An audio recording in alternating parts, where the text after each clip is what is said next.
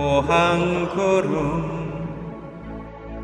무거운 발길 옮길 때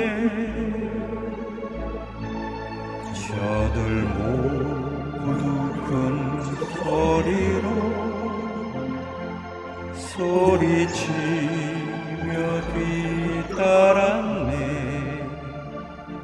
지치어 쓰러질 때 살을 찢는 채찍 소리.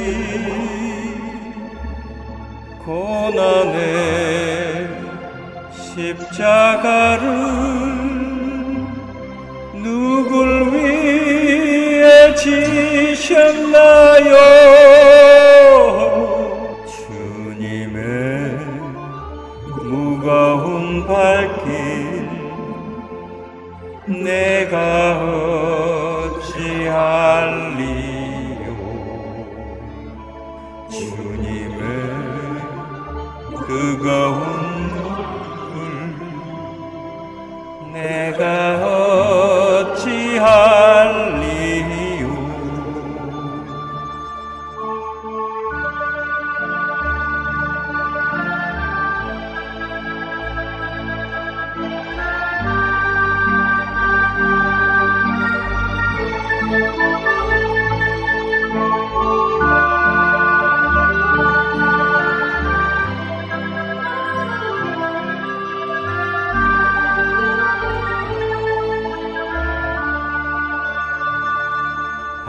방울 또 한 방울.